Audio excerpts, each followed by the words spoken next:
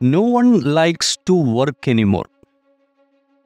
So the people who is working is similar to the people who are dating. So when you're dating someone, you will do all the best you can to attract and get that love and fall in that love. And when that relationship is established, then you will struggle to stay. And at the end, maybe you'll break up. Similar is the work. In the initial stage, to get that job, you'll do all what you can, preparing the best CV, performing the best interview to get that job. Once you get the job, day by day, you will get exhausted.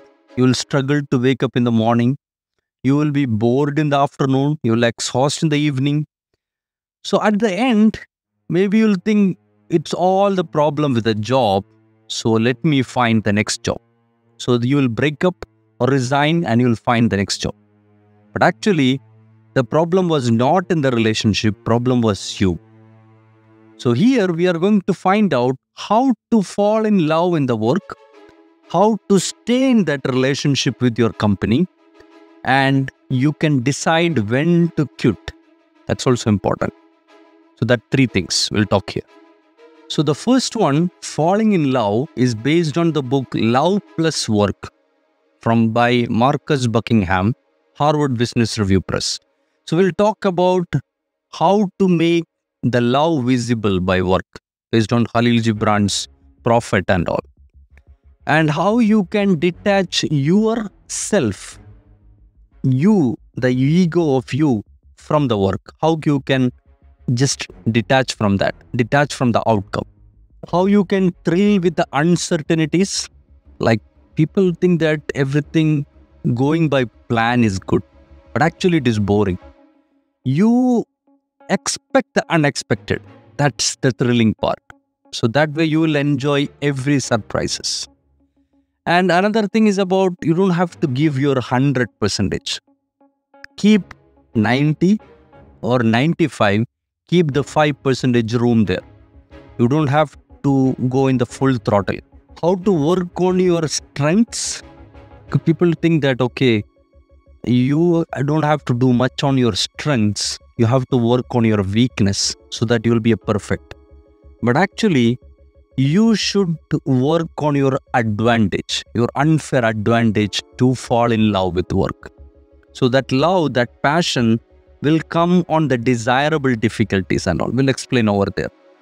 And the last one on that is finding the weird spirit. Weird spirit is something related to some ancient mythological thing what Marcus was telling. It's like everybody have that weird spirit. So even though the twin born in a same home in the same family, he'll be different because of this weird spirit concept and all. So we'll talk much about that there. So, in Staying in Love, we will look at the Culture Code, the book by Daniel Coyle. So, we'll talk about here. You'll think the work you're working for a company who is doing the business. That's important. You should treat your work as the part of the business. That's important. Then you look for the confirmation bias because people try to confirm ourselves or we try to be part of that same people. Instead of authentic expression, we'll be trying to fall in that confirmation bias and all. We look for that. And also, we should prepare for vulnerabilities. How we can prepare for our vulnerabilities so that you will be more sustainable in your career. And we'll address the wage stagnation because people always have a difficulty in asking for raise and all. But instead of asking for raise, how you can make yourself more worthy and valuable. That's what you have to think about it. And another point is about work like this is your last day in your work. That's important. Because sim- similar to what Steve Jobs used to mention, like last day of my life and all. So in that thing, everything else will disappear and all. We'll discuss about that. And also we'll finally we'll talk about understanding the politics and dynamics. One of the greatest politics people has to almost all people has to face may be the work politics and third one on breakup this is the book already we have a summary in our channel Quit by Annie Duke. So we'll talk about the kill criteria because most of the time we'll be perplexed on a situation on a breakup. So if you have a criteria, okay, this or that, that will be make your breakup easy. And we'll talk about the expected value, the absolute values and all, how when we are looking at making a decision. And also sunk cost fallacy. This is important, like how much you have invested so far. That is a fallacy people always try to just detach from that. This is not applicable to work in many other things. We'll talk about that. And loss aversion. More than gain, we are more averse to loss. So how we can overcome that loss aversion? We'll talk about that there. And finally, we'll talk about seeking the outside perspective. There will be someone else brutally honest in your friend circle or someone whom you can go and ask for it that's a good thing, taking that outside perspective. And finally, we'll reassess the goals on a long-term perspective, like three minute, three hour, three year, like there are many such techniques and all. So we'll talk about such things, how we can reassess the goals on a long-term perspective when we are deciding to break up or leave your job. Are you exhausted, dragging yourself to work every day, struggling to even get out of the bed, feeling trapped by a job you cannot escape? You're not alone. Millions of people worldwide grapple with work every day, struggling to find a purpose and meaning out of it, which has been exacerbated by poor management, growth opportunities, work life balance, undercompensation, corporate pressure, intense competition you name it, all of the external reasons. But above all those reasons outside, we don't see or find ourselves at work or we don't see the problem inside us. We work because someone else told us to do that or we have no other choice to pay our bills. No wonder why many of us feel drained in such office environment. We become something like a vinyl record spinning without a needle on it, emotion without any music. Instead of daydreaming about the next opportunity, let us explore how to make our current work more engaging and fulfilling. How to find the love, the quest and passion at work, exploring the purpose, ownership, and your own self at work. Strategies for making your projects more exciting and meaningful. We are going to shift our perspective to see the work as more than just a paycheck. We are going to transform the way we think and act about your work by igniting the true fire inside us. So the first one is falling in love based on the book Love Plus Work by Marcus Buckingham, published by Harvard Business Review. So we'll start with Work is Love Made Visible from the famous poem The Prophet by Khalil Gibran. It has a section on on work. So that whole poem is actually a conversation of a wise man, Al Mustafa, uh, answering to the questions. So it starts with love by a woman and lot. And this one is coming from a farmer. And Al Mustafa is telling on work, he's telling work is love made visible. We'll go into it. So, see, if you have love, love, deep love inside you, if you're not doing anything, how it will get channelized? That's a question you can think it in multiple aspects of it. But let us focus on work now. So, if somebody have a deep love of doing something, say a brewer, because Adam Smith, Wealth of Nations, he's telling that each people who is doing the work, he is actually doing for himself. That was more of a selfish explanation by Adam Smith. But here, Khalil Gibran is taking it to another level. He's taking telling it as a spiritual way. Like the way we I'm doing my work, I am sharing the best of what I can, that passion into that work. And that way, every work you see, every line of business, that transaction is happening. Like someone else is a beneficiary of that, your work. So that way, you are getting paid or you are getting as a profit or whatever it is, even in the work or business, and the other person is benefiting from it. That's how the whole economy works. So instead of treating work as a curse, because people tell that, okay, freedom, or financial freedom or something it's it's like not doing anything or you don't have to work but actually without work or doing nothing is a punishment even for retirees and all so we are trying to change that version of work is not a curse. Work is something you can make the love inside you visible to the world. Second one detach yourself from work. So put it another way put the ego outside the door of your office. So ego is something which is helpful when you are expressing yourself or when you are a threat or competition like that. But in a work scenario, especially when you are working with someone else,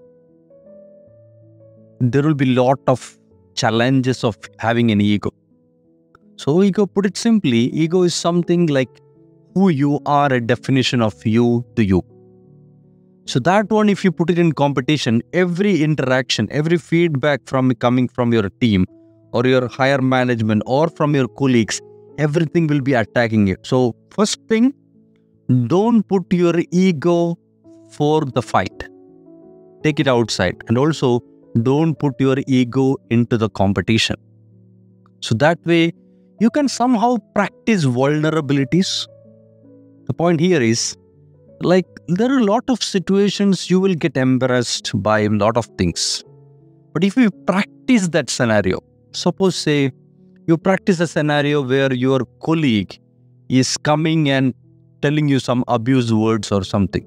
You can imagine that situation and then you can try to see what you will respond to it. You see your options in your mind and you choose the best option which is not escalating that topic. So somehow you are practicing that vulnerabilities. Because most of the time, when you are hit with the ego, your response will be automatic. You are not getting a rational thinking space to reply to it. Instead, you'll be emotionally responding to it. So if you practice that vulnerability, you can improve or you can somehow take that love into the work. Instead, if you put yourself into the work, that love will not happen. That love cannot come out. So detach yourself from the outcome also. That's another thing. Like uh, we are supposed to do lot of things in the business and work where winning is desirable.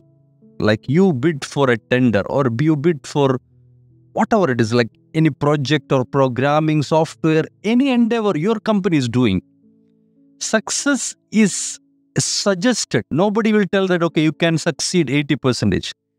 Always, every company will look for the highest possible success rate. But the point is that nobody is going to get it every time. So instead of focusing on the outcome, detach yourself from the outcome. You do your best and then let you learn from that outcome. You don't have to attach to it. That failure or even success, that's not by you. That's a contribution of lot of things happening around, including your team, colleagues, your beneficiaries, your customers, stakeholders. Many people interacted. That's how that outcome happened. Same will be for the failure as well. Third one, thrill with uncertainties. So most of us, there is two way of thinking about work. First one, it will be more relaxed. In that case, everything will go like everyday same somehow it was the boring like there is no surprises or anything like that. Everything is programmed. But the point is that such work can be easily replaced by a machine or a robot or an artificial intelligence. But there is another way of work or another working environment where you will be hit with lot of surprises. So you can do it in two way. You can pray for not having uncertainties or you get stressed by uncertainties. That's one way of looking at it. There is another way of looking at it, just taking it as an opportunity to, to show yourself, opportunity to solve it, like you are taking it like an action hero. You find that opportunity if you look at the James Bond, Mission Impossible, and all, they are going for it, irrespective of whatever is happening. So you thrilled by that uncertainty. That's actually the best way to love the work. Because if you get stressed about uncertainties, sooner or later you could be replaced by anything. But if you thrilled with uncertainty, which unpredictable things, then you are irre- irreplaceable. So somehow you are that much agile, that that much fluid, that you are inevitable and essential part of the team like that. So thrill with uncertainties. Don't pray for not having surprises. Let that happen and let the universe unfold itself also. Just you cannot control everything on that surprise scenario. Something you can do it. Rest, let it unfold in front of you learn from that, understand from the next time you get the surprise, you have a learning from your earlier surprises. Don't give your 100 percentage. The point here is to take your legs from the accelerator. Because most of the time, we push ourselves to the maximum. But actually, there is 80-20 principle telling that there is 20 percentage of the things are important 80 percentage is not attributable a lot of explanation out of this 80 20 principle but here what we are trying to take that same aspect is even you work 80 or 90 percentage and even if you work 100 percentage actually there is a law of diminishing return happen. No extra benefit will happen to your work but instead you will not get have a room to accommodate something extra or some ex, some some surprises or something like that. You will be completely occupied so that way you'll be fully exhausted. Instead if you give that 80 percentage that 20 percentage buffer that will give you the smoothness in your work. You will be more relaxed more creative and that will be benefit not only for your work for your team and company also. You don't have to push yourself to that. Push yourself to 100% that's the idea. So you have to set realistic expectations.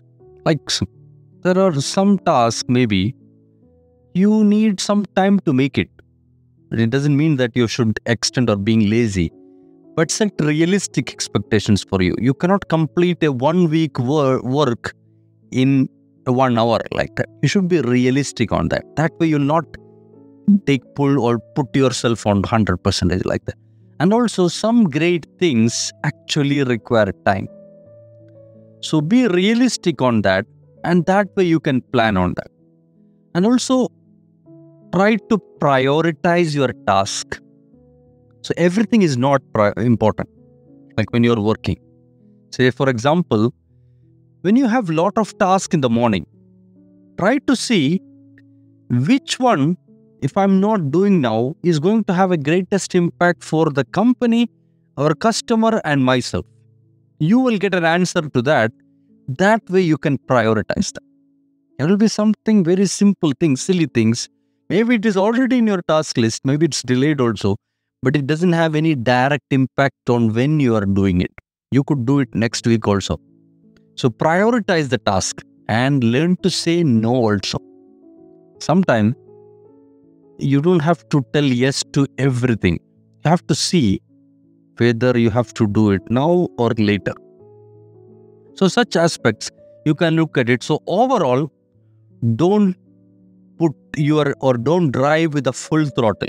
Just drive, give some room for some allowance for some creativity in your work. Fifth one, work on your strengths. So, all we always try to become the perfect version of ourselves. But actually, everybody have some strength and weakness. So Gallup study is being told that when somebody is focused on strength, they're going to be six times more engaged in work rather than somebody trying to focus on their weakness. So, also you can do another way. For example, your strength is something which you created by lot of tuning up which happened in the past. So maybe you polish little more, you can get that diamond out of it. Instead, if there is a weakness which is already in a charcoal stage or a carbon stage, it requires too much time to polish it. And while you are polishing it, maybe your current strength will get weakened also. So overall, instead of improving the weakness, best is to increase your strengths. That way, you will have an advantage. Like you will be a specialist in that particular strength of the topic. Because, like a team is actually one of the important things of a team is to have a versatility, versatility in that team. So that, like, each people will have a different level of strength and weakness that balance each other and that way that will give a good outcome if you remember back the mastermind principle of uh, napoleon hill and all he's telling the same thing like andrew carnegie used to keep a mastermind team even many people like henry ford thomas edison and all so what they do is that they have their strengths but they will, they will seek someone else to support for something else. Let us take an example of Steve Jobs. So Steve Jobs is a visionary, but he want his strength is that, and he cannot create a program or such technical things. So he collaborated with Steve Wozniak, and also he is not expert in designing or something. So he go and take Jonathan Ive to design this iPhone, Mac, and all. Then he is not expert in operational and that spreadsheet model. He is very fluidic person and all. He's not that much organized person. So he go and get Tim Cook. So that is how that combination is actually built Apple. If there is only visionary, Steve Jobs, and he's always sitting in his or bedroom or wherever it is and just having vision only, there is no work going to happen to make that love visible and there is no going to have any strength or something like that so that strength of each people taking out created that best in app find your wired spirit or weird spirit w-y-r-d it's actually an anglo-saxon word it's talking about everything so far happened is interconnected and it is actually destined like that, something like a fate principles and all. Similar thought you can found it in Akashic records and all. Like similar concept is there, like everything is already happened. The future is already there. If you time travel to future, you can find it. Something like that. Because there are some incidents where many inventors actually come across to a particular topic like theory of relativity or invention of radio, you see that many people invented that one in the same time. Because that that universe, that record, that destiny is actually waiting to give that to someone else. So something like that. So here, let us take that finding your weird spirit. Here Marcus was telling everybody have some uniqueness inside you. Like for example, say maybe yourself, your grandfather or your father, everybody may be having some trait which is common. That inheritance is there. But I'm telling you will feel that inheritance like something inside you make you love the pet or enjoy a particular music something like that so there is something inside you which you don't know what it is something we call as born talent or something so, which is driving you? You are more than your conscious effort to improve it, something inside you is guiding you to make it happen. That's actually the weird spirit. So, the one way to look at it is that try to see the patterns, try to reflect on you, observe it, and try to understand it, and then improve it. That's the idea of uh, harnessing that weird spirit. But the point is that you don't have to put too much effort on that. There should be some level of allowance to evolutionize. And also, you don't have to too much pigeonhole on that also. Try to understand it because sometime you can just polish that skills which one way may be available as a weird spirit, another way maybe it is available in your DNA code, you can just fire it. And that can just improve your way you are working. Because everybody is unique. Even everything, it is not only voice or fingerprint or anything like that. Even every spirit, every entity is actually unique. God created a particular person or a universe created a particular person because he has something special to do in this world. So, your work, whichever way you call it, even there are 100,000 or 1 million people having the same job title, you can only do the work the way you are doing now. So, you are unique. So, find and harness your weird spirit. So, second one, staying in love. So, first one is understand the business of your company. Because most of the people struggle in a workplace because they take it too much things personal. It is irrespective of a profit making company or non profit organization. Generally, because most of us actually spend most of our waking hours in an organization where you work or where you do the business. So, if you understand the business of it, what I'm trying to tell here, like say, for example, your supervisor or your whoever it is, your manager or your colleague, whoever, they give you a task. That is maybe because of it is fulfilling a business. So, if you understand the business of that company, you can take that as something, as a mission to achieve. Instead, if you take it personal, you will think that, okay, my manager is giving this work because he want me to hurt me or he don't like me relaxed. I'm telling there can be take n number of reasons. But instead, if you understand the business, you can better accept a customer risk request. A customer is giving that business. He has a problem and we are the company going to solve it. So his problem is actually a path to our business. So understanding that business will better equip you to understand the company, how it is working, its flaws and its good things. Because every company is not going to be perfect.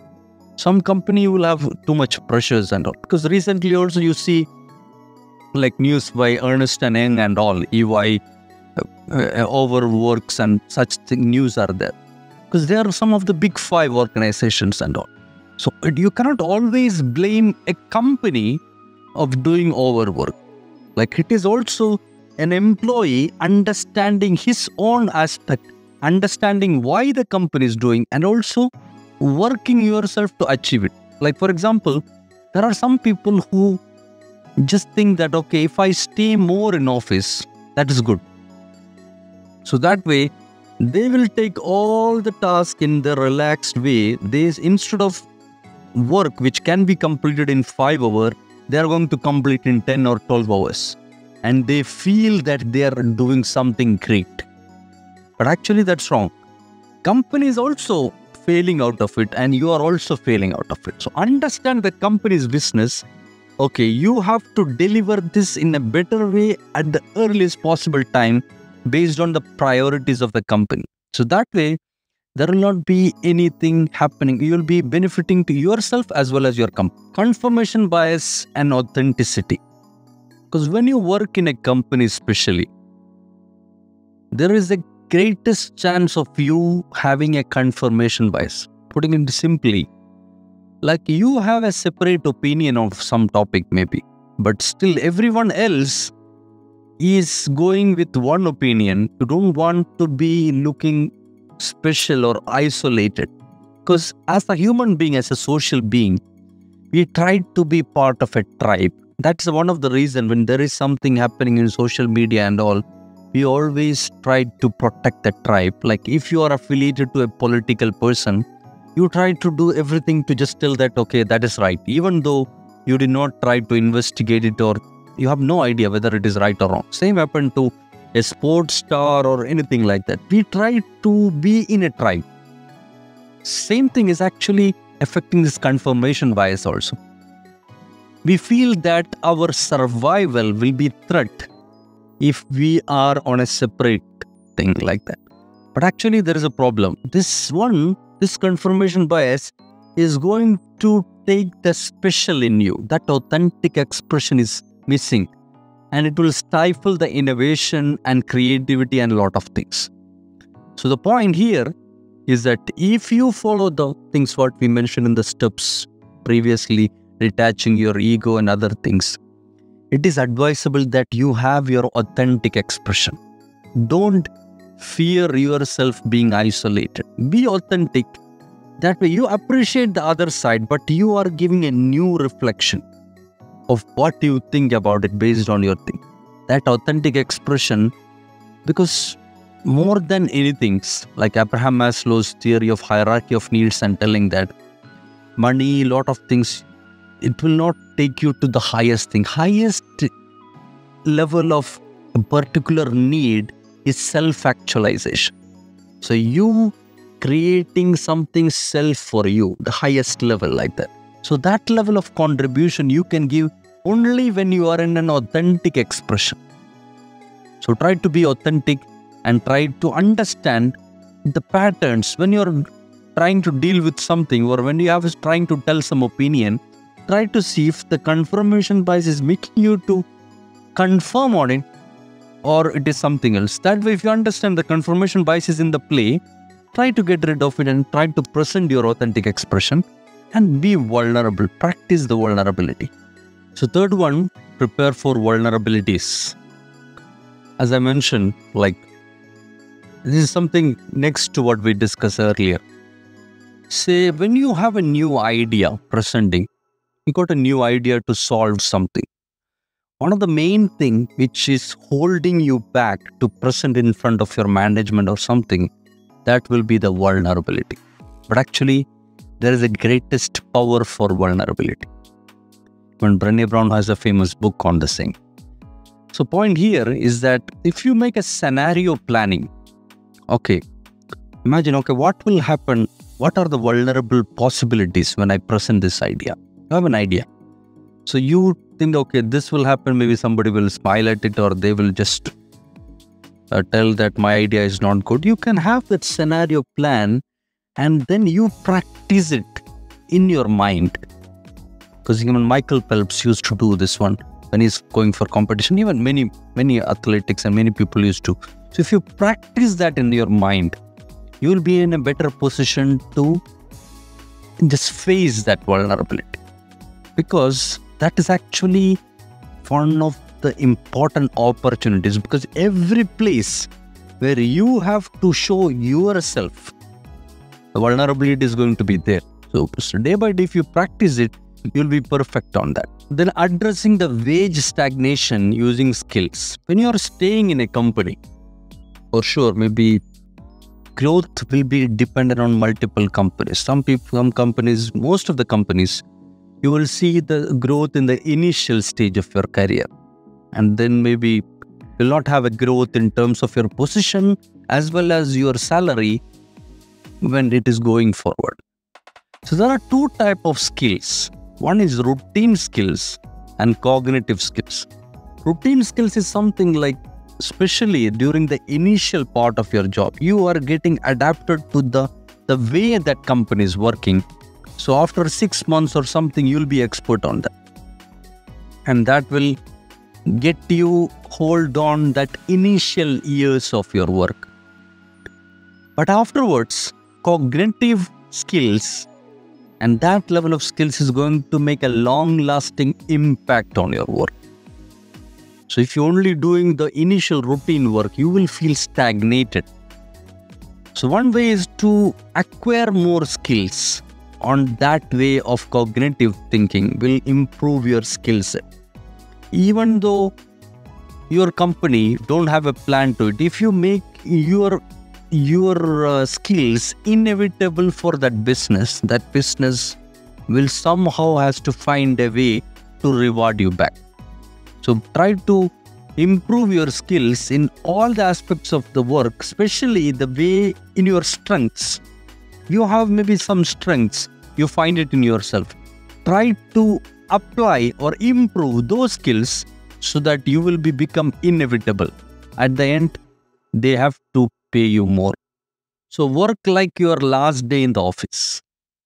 So this one may be similar to what Steve Jobs was telling about uh, work like last day in our office and all. Uh, I mean the life and all.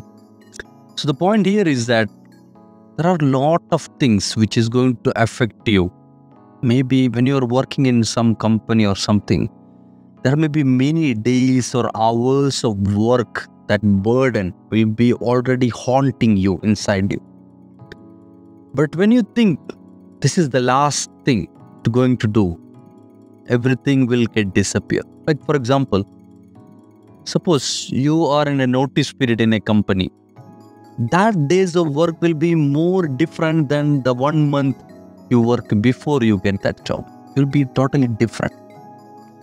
Steve Jobs' idea was telling that when you are going to die, if you think that you are going to die, everything else, every fear, every uncertainties will just disappear.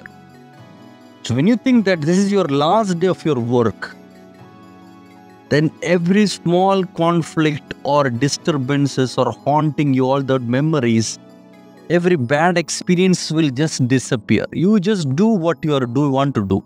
You will be more productive. Your quality of work will improve. That's the idea. And final one, understanding the people dynamics and the politics. As I mentioned before in the introduction, politics, most of the people has to face maybe in the office as well as maybe in your immediate family relationship and all. Because that is a some relationship which we are spending most of our time. Then for sure, you will get some level of politics from your friends as well. But as office is the most important one, you will have a struggle initially. You will feel that this is all too much personal. Like they're taking it too much to put me down or something. But if you look at little more inside it, what's happening, you will understand there is more thing to it. Like somebody is having a political influence on you there are multiple things is happening there. One way they may be doing it for their own survival. They like them more than you. There is something in you which they feel is a threat to their existence. Or they may feel that you if they you become grown they will not get appreciation. So that way they'll put you down. Lot of such things. So in effect the best way to manage that politics is to understand the interest, that motivation, that drive, and the reasons behind those politics. That way you can understand. So you cannot solve that with politics. Actually, the best way to deal with politics is to leave it and let it evolve by itself. But one way it is a good learning opportunity to, for you to understand a person especially when the people are angry or they're very much uh, on a fighting mode and all. You will see the real person. All of the other things there will be some illusions around it. So try to understand what is driving them and every scenario try to see whether your understanding is correct. That way you can take that dynamics, that politics, in a way which is manageable for you and you can stay in that politics. Sometime maybe you have to show your authentic expressions and tell no. Sometime you have to give them a feedback that you understand what they are doing. But in another way, you should sometimes surprise them also by supporting them unexpected way because in your inside you don't have to keep that emotions don't have to keep that attachment. Actually, try to understand the why behind the politics and you can better manage that. So, third section time to break up the relationship. So, another way quitting your job based on the book Quit by Annie Duke. So, Annie Duke, uh, one of the key things in the book is talking about establishing a kill criteria. Because when we come across a decision to quit, actually our decision is not always rational we are an emotional beings also. So somehow our decision making becomes flawed. But the kill criteria will make you more rational in such situation. For example, like if you take an example of for a startup, maybe if you are not getting profitable in 18 months or one year or something, then you should stop this business. That's a clear, objective kill criteria. Or if you're not getting a job in next six months in this industry, I will change the industry. So that much objective, specific, and to the time will make things easy for you to quit. Otherwise, there is a lot of things will get you holding you making the decisions. So make your kill criteria, especially in the job, because you have lot of other values, missions, goals. Try to put your kill criteria or define it in advance you don't have to wait for that opportunity. You tell that, okay, if this happen in my job at this stage, at this particular thing, then I will quit this job. That kill criteria is there. When you become that opportunity, you just quit. That's it. Easy as that. Second one is calculating the expected value. It's a little more mathematical, but don't worry. Expected value is something like the value of your success when you are making this decision like, for example, you plan to quit this job and find the next job. So, the value of that success or changing the job into probability of that success, that two things, if you add it to the value of failure and probability of failure, that combinational sum is the expected value. Or putting it more simpler to you, so if you stay in the job how much you will succeed. And if you leave that job, what is going to affect you and what is the possibility of success? That can make your decisions easy. Sometime maybe you stay in the job, you will have lot of benefits of okay you can get this. You don't have to change your home. You don't have to do a lot of things. You don't have to change your kids school and a lot of things. But on the other way if you change the job you have a greater chance to become successful there. You will get a better position. You'll get a better salary. Maybe you will fail on little aspects of family of something initially. Maybe you'll have to spend little more on changing your home. But that combination will give you an idea about whether it is good to take this opportunity or very simply we tell it it's we call it opportunity cost opportunity cost is something like you try to discard an opportunity. How what you will lose by taking this opportunity? That's an opportunity cost. So try to understand that expected value, which is the summation of probability of and uh, success and probability into failure. That summation. Try to understand that when you are making a decision. That will enable you to make a better decision and it will be more objective as well, your decision, rather than subjective or emotional. So, overcoming the loss aversion. So, we all, like Daniel Kahneman studies and all, it has told that people, we don't like losses. We always like to have gains. Even that is overall, if you calculate it, it is less we don't want to lose a $10 than getting a $100. That's the idea. So the problem here, most of us make a decision when we are in a loss situation. Like for example, a company is loss or your work is in loss. The loss aversion will happen because at some point in time, say for example, your business is in loss, you avoid quitting that because you will think that then you will end up a company in loss or your whole mission will end up in loss. That is one way of loss aversion. Another way is loss aversion is that you will invest in more to avoid the past, or you think that I have already invested this much. To somehow come to our next topic about sunk cost fallacy and all. So we'll talk about oh, we have already invested this much, invested this much time, invested this much time, money in this work, this much effort I put it in the work. So let me continue that. This is the thing. But actually, that waste is something Annie Duke is telling. It is something forward looking. You cannot make a decision by looking backwards on that way. So it should be forward looking and understanding, okay, this much time is wasted. How we can move forward. Or or another way to take it is that you don't have to always take it in a monetary value or numbers on something. A lot of things happening on your life. You cannot quantify it in profit, but it would have happened to teach you something. Like, say, you started a business. Maybe it is not profitable, but you would have learned a lot of things what did not work, like a design. So that's the learning. That is actually the benefit out of it. So you have all this work so far that doesn't prevent you to improve more.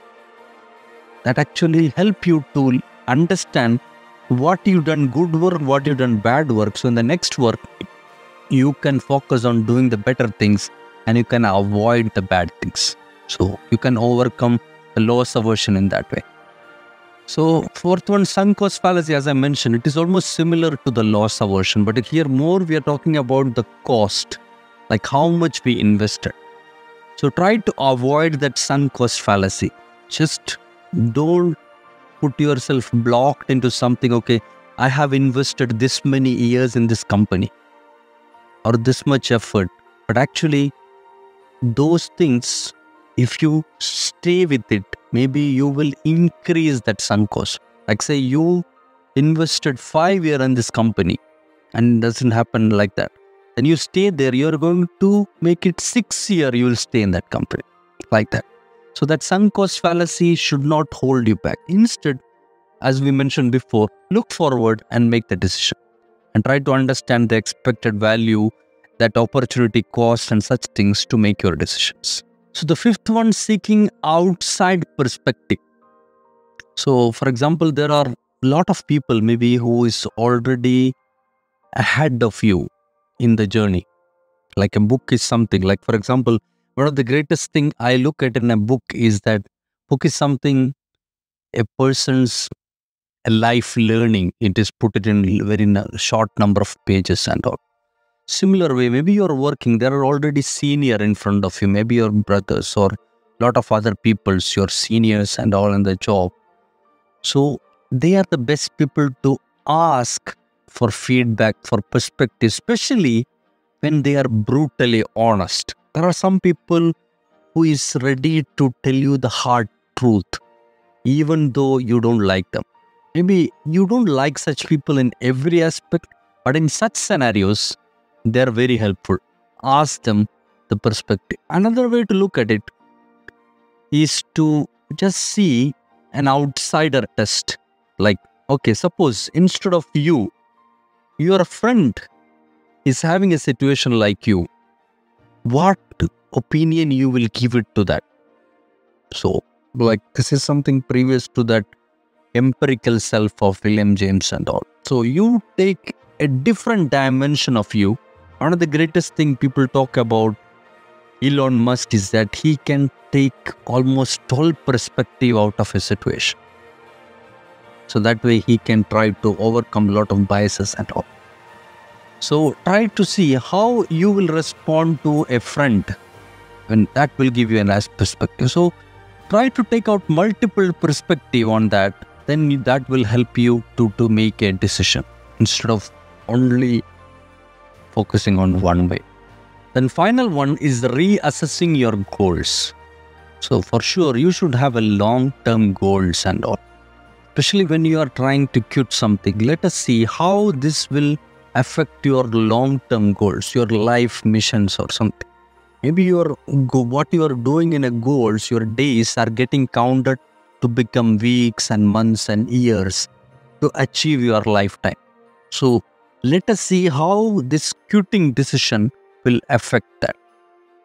So there are some techniques we used to mention by uh, many authors, even Jack Welch, I think Mel Robbins and all, are talking about this 555 or 333 and all. 555 is mainly talking about what will happen to this decision after 5 hour five week and in five year so for example you are going to just resign from a job whatever it is say.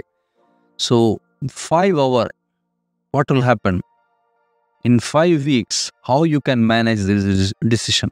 And in five year what will happen by this decision? If you understand that three aspects that will help you to make a better decisions fast so there are a lot of great companies and great entities even say youtube or lot of companies even twitter. A lot of people actually pivot. Pivoting is like changing like youtube started as a dating site and now they change it to a media company. A lot of things you will find it in different different companies in pivoting. So the point here is that you should somehow as we mentioned the kill criteria and all if this happen i'll do this so if you take that kill criteria and then you take that decisions to understand what is the opportunity cost what is the expected value all these things then you try to pivot based on your long term goals.